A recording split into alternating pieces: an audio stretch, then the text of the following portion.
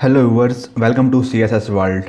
Under this lecture of Cold War series, we will study the policy of containment. So here we go.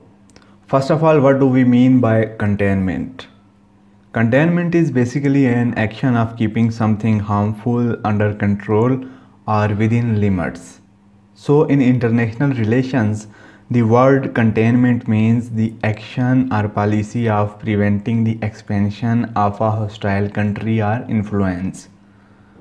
From these meanings of containment, we can understand that containment is all about preventing the expansion or influence of a hostile state. For example, there are two countries, country A and country B. They both don't have good relations Country A thinks that if the influence of country B would expand to other countries, then it may create difficulty for its survival.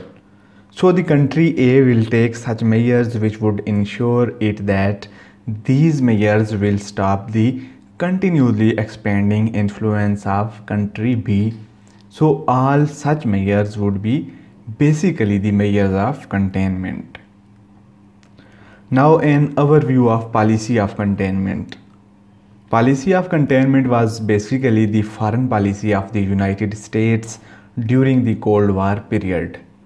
As we know that the Cold War was fought between the United States and USSR, it was basically a war between two ideologies including the capitalism and communism.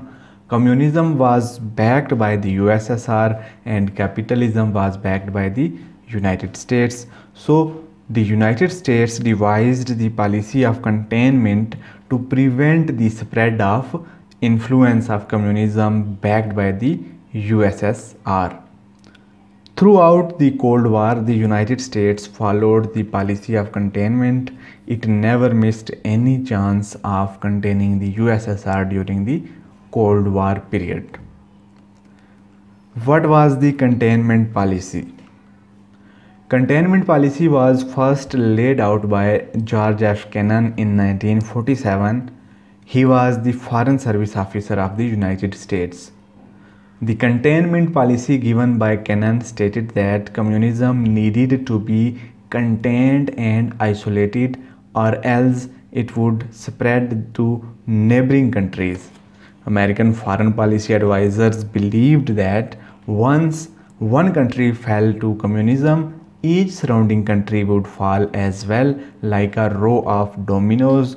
This view was known as the domino theory.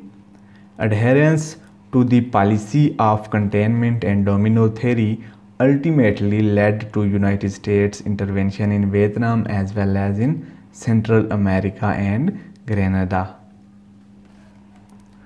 Long-lasting containment policy Containment remained central to American foreign policy throughout the Cold War, which saw rising tensions between the United States and the Soviet Union. In 1955, the United States entered what some historians consider a proxy war with the Soviet Union by sending troops into Vietnam to support the South Vietnamese in their battle against the communist North Vietnamese. The United States involvement in the war lasted until 1975, the year the North Vietnamese captured the city of Saigon. A similar conflict took place during the early 1950s in Korea, which was likewise divided into two states in the fight between North Korea and South Korea. The United States backed the South while the Soviet Union backed the North. The war ended with an armistice in 1953 and the establishment of the Korean demilitarized zone, a 160 mile barrier between the two states. So in this way, the United States kept on implementing the policy of containment throughout the Cold War. The US side kept on containing the influence of communism. It is possible to say that each succeeding administration after Truman's adopted a variation of Kennan's containment policy and made it their own.